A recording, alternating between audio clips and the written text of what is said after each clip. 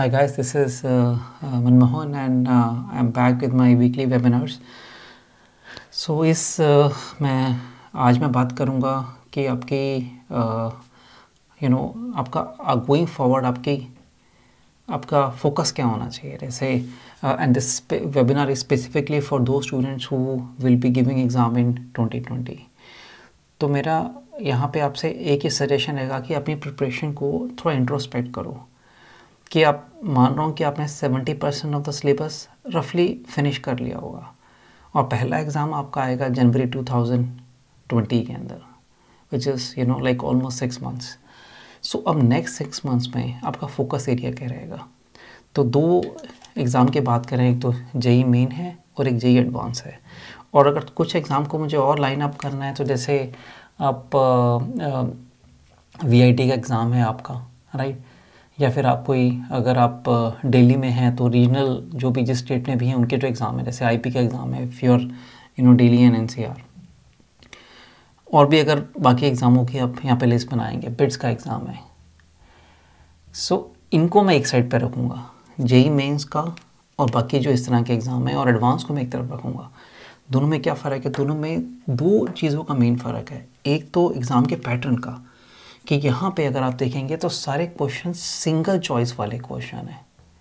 Single choice है with negative marking लेकिन you know कई बार नेगेटिव मार्किंग नहीं भी, कई एग्ज़ाम में नहीं है। बिट्स में नेगेटिव मार्किंग है, लेकिन कई एग्ज़ाम में नेगेटिव मार्किंग नहीं है। वी में नेगेटिव मार्किंग नहीं है बिट्स में नेगेटिव मार्किंग है। तो आप यहाँ सिंगल चॉइस है। दैट्स अ मेन डिफरेंस और यहाँ पे है आपका more than one choice correct या सिंगल चॉइस करेक्ट या more more than one plus integer type जैसे फिलिंग द ब्लैंक्स कहते हैं इंटीजर टाइप है आपके पास। टिक नहीं करना है, आपने आंसर सॉल्व करना है और आंसर को लिखना है वहाँ पे। राइट और पैसेज टाइप वाले क्वेश्चन है आपके। या मैच द कॉलम वाले क्वेश्चन है, उनको आप डिफरेंट स्टाइल में यू नो मैट्रिक्स फॉर्म में देते हैं वो क्वेश्चन है। तो तो इस तरह के जो पैटर्न है आपका, जहाँ मल्टी वैरायटी ऑफ़ क्वेश्चन हैं, वो एडवांस में है। और मेंस के अंदर आपका typical single choice correct question है, चार चॉइस हैं, आपने करेक्ट चॉइस यूज़ करनी है। एक ही डिफरेंस है दोनों के एग्ज़ाम में। एक साइड पे मेंस एंड बाकी एग्ज़ाम्स और दूसरी साइड पे जी एडवांस फिर आपका हम देखते हैं कॉम्प्लेक्सिटी का, कि पेपर ऑफ़ पेपर का जो लेवल है, अगर आप लेवल को मैं अगर यहाँ पे कहता हूँ कि इस पेपर का लेवल एक्स है ऑब्वियसली एक्स ये अगर आप देखेंगे तो आपके C B S E exam से ज़्यादा ही होगा ये। परसेंटेज ज़्यादा ही है एग्ज़ाम डिफ़िकल्ट एग्ज़ाम है but between mains and other exams mains तब भी मैं कहूँगा बाकियों से थोड़ा बेटर है। लेकिन अगर इनको मैं अगर एक्स बोल रहा हूँ इस लेवल को तो मान के चलिए यहाँ पे आपका टू एक्स समझिए आप। One point seven X one point eight X two X because हर साल लेवल चेंज होता है। तो ऑलमोस्ट आप डबल डिफ़िकल्ट समझिए नंबर लेना एग्ज़ाम के अंदर। तो अब आप नेक्स्ट सिक्स मंथ्स में आपका फोकस क्या रहेगा? आपने अपने यू नो खाली एडवांस पे फोकस करना है गोइंग फॉरवर्ड या मेंस पे फोकस करना है या दोनों पे फोकस करना है। अब ये इस पर डिपेंड करेगा how is your preparation going on you know how your performance is going on I would say जो भी आप प्रिपेयर कर रहे हैं वो how what level of performance you are showing up up till now तो देखिए मैं आइडिया में जैसे यू you नो know, अगर आप विद्या मंत्री का एग्ज़ाम देते हैं जो मौके एग्ज़ाम्स हैं तो उनमें अगर मैं आपको आइडिया दूँ अगर आपकी परफॉर्मेंस जैसे आउट ऑफ़ थ्री सिक्सटी जो मेंस का एग्ज़ाम है जे जे मेंस का मॉक एग्ज़ाम जो है, जो वीएमसी में है या आप अगर किसी और कोचिंग में एग्ज़ाम दे रहे हैं और थ्री सिक्सटी का एग्ज़ाम जनरली होता है, उसमें आपकी परफॉर्मेंस आपकी आई वुड से कि अगर आपकी परफॉर्मेंस उसमें वन थर्ड रहती है से one twenty marks and below और मे बी हंड्रेड रख लीजिए आप। अगर आप इससे ऊपर नहीं स्कोर कर पा रहे कंसिस्टेंटली आपकी परफॉर्मेंस इसके अराउंड ही रहती है तो मैं कहूँगा आप, सिर्फ़ आप इस साइड पे फोकस करो आप। This is the side you know you have to focus on क्योंकि जितना टाइम है, उसमें आप, क्योंकि यहाँ पे स्कोर करना कंपैरेटिवली इजी है। अगर आप हार्ड वर्क करेंगे, मेहनत करेंगे, आपने खूब सारे क्वेश्चन सॉल्व कर लिए हैं, आपने टाइम प्रैक्टिस ज़्यादा कर ली है, आपने यू नो टॉपिक्स कवर कर लिए हैं then it is easier to solve अगर आप वन थर्ड मार्क्स ले पा रहे हैं मेंस वाले लेवल पे अभी तो आपको बेटर यही रहेगा। वन थर्ड या उससे कम, कि आप इस साइड पे फोकस करो गोइंग फॉरवर्ड आई अंडरस्टैंड कि आपको you know there so many colleges हैं।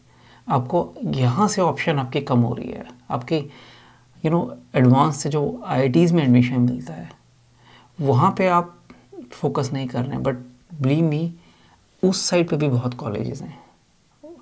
और आपको मैं ट्रेंड बताऊँ, आजकल का जो ट्रेंड है, वो ये नहीं है कि आपने किस कॉलेज में जा रहे हैं। आपने ब्रांच का लेनी है। You know as I been involve with I T industry since long time तो मुझे पता आज एट्टी टू नाइन्टी परसेंट जो जॉब हैं specially high paying jobs they are into software field they are into I T industry so it is been a trend that people are living you know IITs and they are taking admission into other colleges if they get the appropriate branch if they getting the branch relate to I T तो आप अपनी, मैं नहीं कह रहा हूँ कि यहाँ, मैं आपको लेवल ऑफ़ परफॉर्मेंस की बात कर रहा हूँ। राइट डिसीज़न इस टाइम पे लेना है आप। इस लेवल ऑफ़ परफॉर्मेंस क्या आ रहा है? कोई मैजिक नहीं होगा आप ऑलरेडी इलेवन से तैयारी कर रहे हैं, कुछ लोग नाइन से कर रहे हैं, कुछ लोग टेंथ से कर रहे हैं। अब छः महीने में ऐसा क्या मैजिक होगा कि आप 360 में से आप 120 मार्क्स भी नहीं ले पा रहे हैं 100 मार्क्स ले पा रहे हैं 100 से भी कम ले पा रहे और आप एडवांस एग्ज़ाम में परफॉर्म कर लेंगे। Then I will say you seriously mistaken अगर आपको फील लेनी है, कोई टॉपिक आपका स्ट्रॉन्ग हो आप उसके एडवांस के क्वेश्चन सॉल्व करके देख लो और मेंस के भी क्वेश्चन सॉल्व कर लो। सारे पेपर्स अवेलेबल हैं इंटरनेट पे। विद्या मंदिर की वेबसाइट पे भी हैं। एडवांस का आप यू नो इस बार का जो पेपर अगर आप देखेंगे मैथ का फिज़िक्स का it's really difficult paper math का जो पेपर आया, उसमें मोर देन वन चॉइस वाले जो क्वेश्चन है, आपने क्वेश्चन सॉल्व भी कर लिया, आपको आता भी है। आपने सारी चॉइसेस को निकालना, दो चॉइस टिक कर ली थर्ड नहीं करी, पूरे मार्क्स नहीं मिलेंगे आपको। तो पूरे एक क्वेश्चन के सारे चॉइसेस को आइडेंटिफाई करना कि ठीक है which is which is was not easy again I am not discouraging you I am saying you have to introspect you have to see your performance you can not blindly you know keep on preparing you can not put you know feet in two boards you have to choose one now now I come to other category those who're performing more than you know hundred marks और hundred twenty हैं right? Then they can you know do both then they can do both उनको syllabus same है. Topic भी mostly same है. लेकिन level of practice का फ़र्क है. कॉम्प्लेक्सिटी का फ़र्क है. पैटर्न का फ़र्क है. तो उनको मैं रिकमेंड करूँगा कि दोनों साइड पे फोकस कर सकते हैं वो.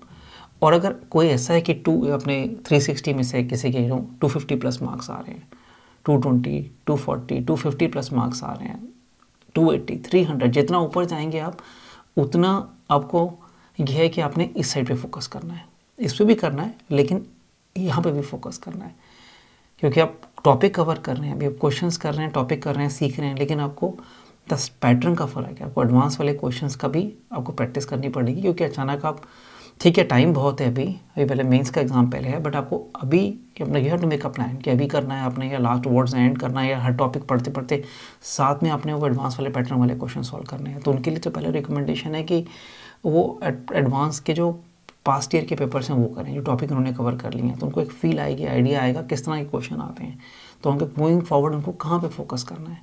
तो आपको ये डिसाइड करना है कौन सी साइड पे जाना है आपने। प्योरली मेंस पे फोकस करना है mains and other exams which are of the same type same level more और लेस सेम लेवल और other side advance exam which gives you admission into I जिसका पैटर्न भी टोटली डिफरेंट है, और question paper का level भी बहुत different है। राइट पैटर्न डिफरेंट है लेवल भी बहुत फ़र्क है, दोनों चीज़ें फ़र्क हैं। तो आपका अगले सिक्स मंथ्स में आपकी बेस्ड ऑन योर कैपेबिलिटी आप किस साइड पे फोकस करना है, वो एक क्लैरिटी रखिए। अगर आप ब्लाइंडली करते रहेंगे, कभी आपने टॉपिक कर लिया, कभी एडवांस कर लिया, एक साइड पे क्लैरिटी नहीं आएगी आपकी अगर। राइट और अगर के दोनों साइड पे भी करना पड़ेगा, अगर आपके परफॉर्मेंस लेवल ऐसा है कि आप यू नो मेंस में भी आप नंबर ले सकते हैं और एडवांस में भी रैंक ले सकते हैं और बाद में आप डिसाइड करेंगे कि मैं एडवां आई में जाऊँ या मुझे डिपेंडिंग अपॉन कौन सी ब्रांच मिल रही है तो दोनों साइड पर फोकस रखना है। तो तीन में से कौन सी side more focus on advance when you are performing you know say more than two fifty just a rough number you have to take your own judgement but I am giving a number more than two fifty average in all the you know mains paper you give और maybe advance paper you give is like you know can say maybe more than one eighty marks half more than fifty percent marks and then the other extreme is you just don't focus on advance exam leave it out doesn't make sense to focus on advance exam एक side focus करेंगे better perform करेंगे. सिर्फ़ single choice वाले question practice करो.